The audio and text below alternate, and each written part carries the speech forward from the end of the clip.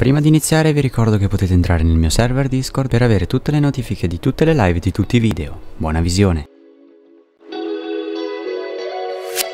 Buongiorno e benvenuti in questo nuovo video di Minecraft. Intanto vi ringrazio tantissimo per i 300 iscritti È un piccolo traguardo che mi fa molto piacere. Quest'oggi andrò a rifare un video che ho fatto molto tempo fa Ovvero andare a riscaricare e giocare il bellissimo mondo di Kendall. Ho preso il suo come esempio perché mi sembrava quello più adatto E su cui già avevo avuto un'esperienza. Infatti riporto questo video perché alcune persone non sono riuscite E quindi ve lo andrò a spiegare in modo più dettagliato. Detto questo, spostiamoci di là. Vi ricordo che vi lascio in descrizione sia questo video di Kendall sia il link direttamente per andare a scaricare il mondo. Quindi una volta sul video o andate direttamente nel link potete andare a scaricarlo.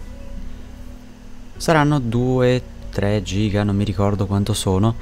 Aspetterete che ve li scarica, ormai la connessione è quello che è, quindi ci vediamo tra poco.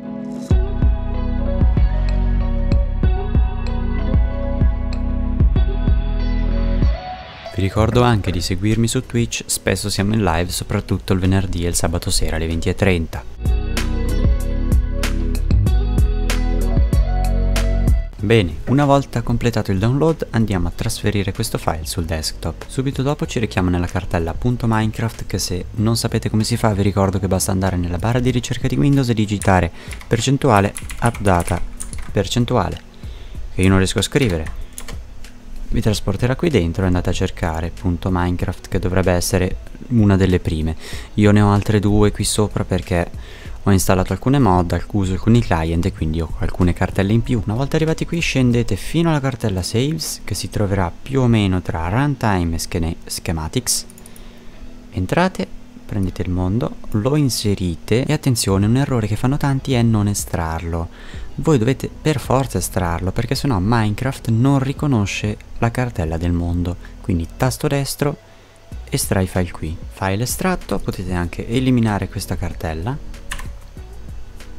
Chiudete pure anche esplora risorse e se avevate aperto Minecraft in precedenza vi consiglio di chiuderlo. Vi ricordo che il mondo è da giocare in 1.19 quindi mm, scegliete la versione 1.19 intanto io ne approfitto per aggiungere mod non ho mod da aggiungere invece sì abbiamo queste due perfetto. Una volta riaperto minecraft tornate nel single player andate a cercare il mondo e niente potete giocarci. E niente eccoci qua. Vi ricordo che se non avete un computer abbastanza potente visto che la 1.19 è una versione molto pesante di evitare gio di giocare con le shaders o comunque utilizzare una mod come fosse Optifine o Sodium per utilizzare delle shaders in modo più leggero possibile. Niente detto questo divertitevi nel mondo che avete scaricato e basta. Noi ci vediamo presto. Vi ricordo che se avete domande non esitate a farmele nei commenti. Appena potrò vi risponderò oppure ci farò anche un video video dedicato.